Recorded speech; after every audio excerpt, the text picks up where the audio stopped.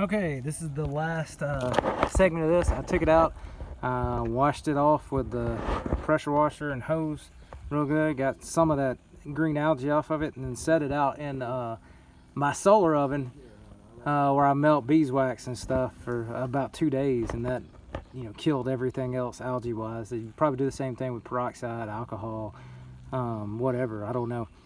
Or, or just set it out in the sun where, where you're comfortable with it. Um, but solar oven definitely did it for me. Uh, came out sparkling white. That's that's nothing but sitting in the creek for, or in the pond, excuse me, for a month or so, um, and then sitting in the solar oven for a couple days just to bake that green off of there. The only place you can even see some green still is uh, down in the skull cavity. Uh, but I'm gonna actually put some Dawn dishwashing detergent down in there and see we can rinse it out the rest of the way. Otherwise, look, turned out really well.